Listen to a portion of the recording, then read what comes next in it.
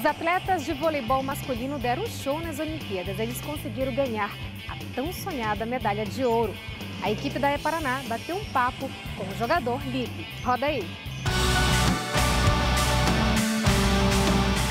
Olá para você que acompanha o esporte, os Jogos do Rio de Janeiro chegaram ao fim, mas o clima olímpico segue mais vivo do que nunca.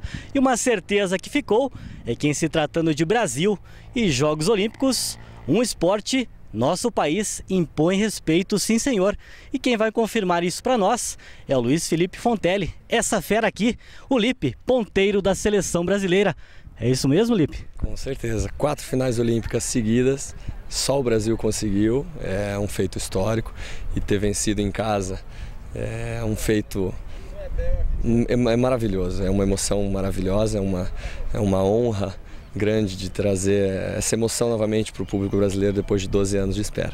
Falando de você, começou aqui em Curitiba, conta um pouco da sua carreira para quem não conhece e também como você começou, despertou interesse em ser profissional de voleibol. Eu comecei jogando no clube curitibano, é, eu era muito novo, a minha irmã jogava voleibol no clube e eu é, inicialmente tinha pensado em fazer um teste para começar a jogar basquete, porque eu era muito novo e queria começar em algum esporte.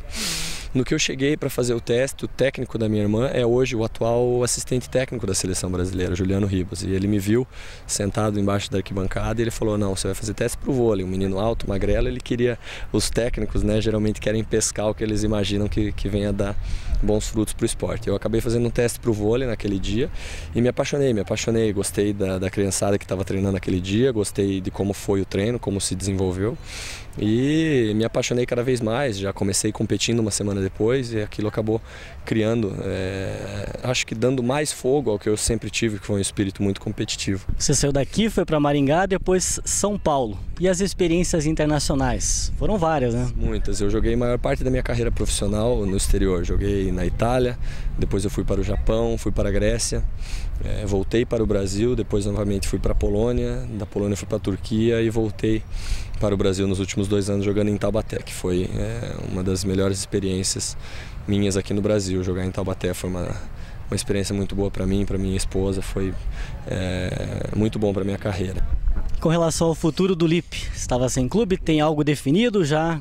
Que, como vai ser o, a o sequência da carreira? Eu ainda estou sem clube, é, é até interessante a gente ver um, um campeão olímpico é, sem clube, mas é, a situação esse ano no Brasil foi isso que todo mundo viu, uma crise muito forte, inclusive atacou os patrocinadores é, esportivos. Então é, tivemos eh, uma redução de, de, contratos em Taubaté e acabamos por não renovar o contrato lá, infelizmente. É, quem sabe no futuro próximo eu possa renovar, é, retornar a Taubaté, mas nesse momento provavelmente eu tenho que retornar ao exterior, muito provavelmente no Irã. Tem algumas propostas do clube de lá e provavelmente no final dessa semana já deva ter uma, uma resposta, uma definição mais precisa.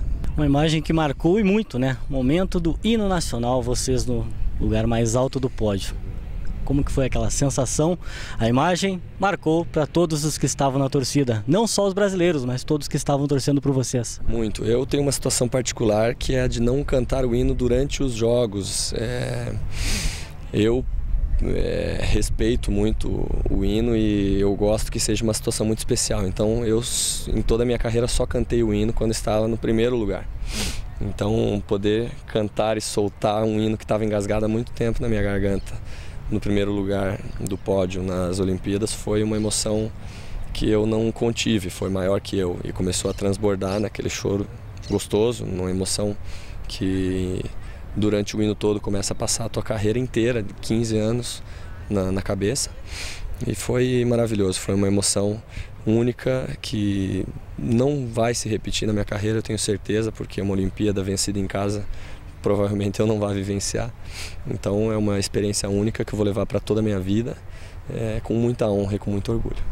Para fechar, deixa um recado para os curitibanos, os paranaenses que torceram tanto por você e mostra para nós essa medalha que com certeza não vai sair tão cedo do peito. Não vai, eu tenho orgulho, eu tenho vontade de sair com ela para passear, tenho vontade de, de ficar com ela o tempo inteiro. Ela é linda, ela é representa muita coisa na minha carreira, representa muita coisa para minha família e com certeza para todos os torcedores. E, então, é um agradecimento sincero com todo o meu coração. Apenas palavras é, não conseguem descrever o quão agradecido eu estou pela torcida e pelo carinho de todos.